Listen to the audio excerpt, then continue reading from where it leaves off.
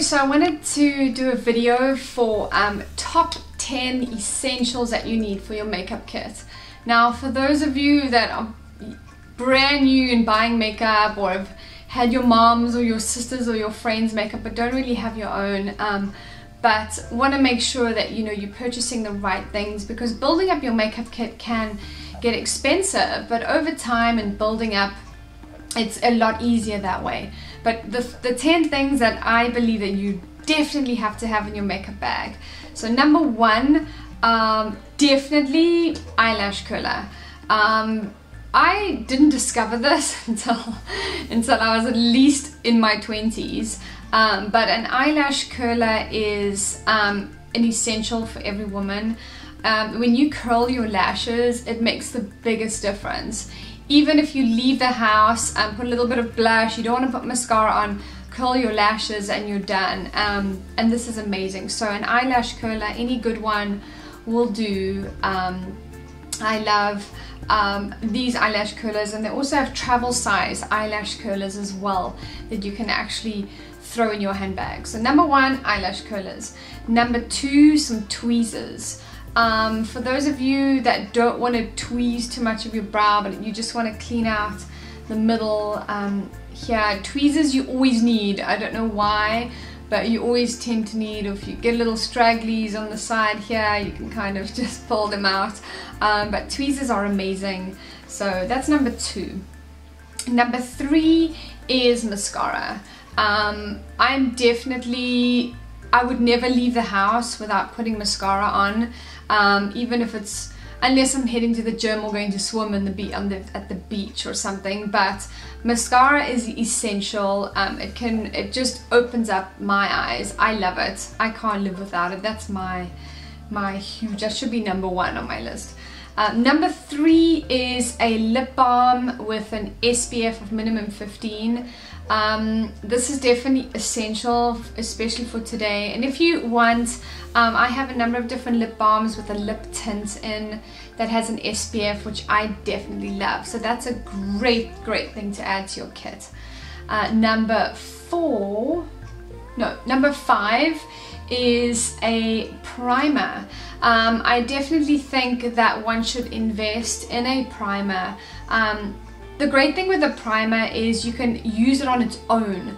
Um, for those of you that don't want foundation but kind of want that um, soft looking canvas or to balance out your skin um, this is just this is great because also if you do want to use it in conjunction with foundation the foundation doesn't sink into your skin and into your pores and it also long last it's long lasting so your foundation will stay all day long um, with the primer I love it.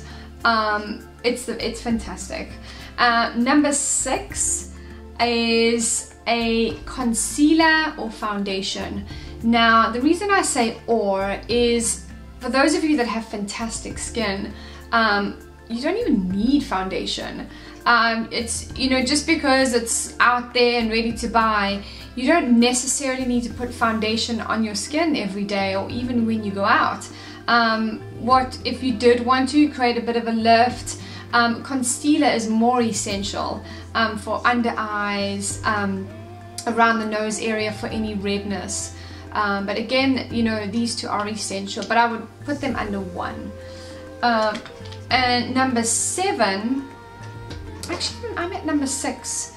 Number six is eyebrows. Um, I definitely think for those of us that have overplucked uh, myself included overplucked our eyebrows. Um, definitely either an eyebrow pencil an eyebrow gel or a powder whatever suits you. If you want to get um, the, I, I like the idea of a pencil because again you can throw it in your handbag. Um, if you're going to stay somewhere overnight you just throw it in there. You don't need to take a brush um, like you would to use a powder or anything like that. So um, again definitely essential for your makeup kit okay number eight definitely number eight now so I did very well in mathematics in school so I don't know what's going on um, so number eight is um, blush So blush is essential. I love wearing blush. Um, not too much, but definitely not too little. Um, a blush is essential for your kit, um, whether it's a cream blush, a liquid blush, a powder blush, um, any blush, different types of colors, but definitely number eight on the list. So definitely invest in and start with one. I mentioned quite a few there, but definitely start with one.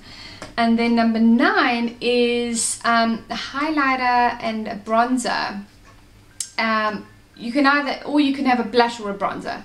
But definitely having a highlighter just to highlight um, your cheek, your, your cheekbones, down your nose, on your upper lip, um, under your eyes. You can use highlighters. So there's so many great ones. MAC makes, NARS, um, gosh, I can go on every single makeup line you can think of makes highlighters, whether it comes in cream form, liquid form, powder form, um, they all come. So um, definitely essential for your kit. Um, and then last but not least is a loose powder.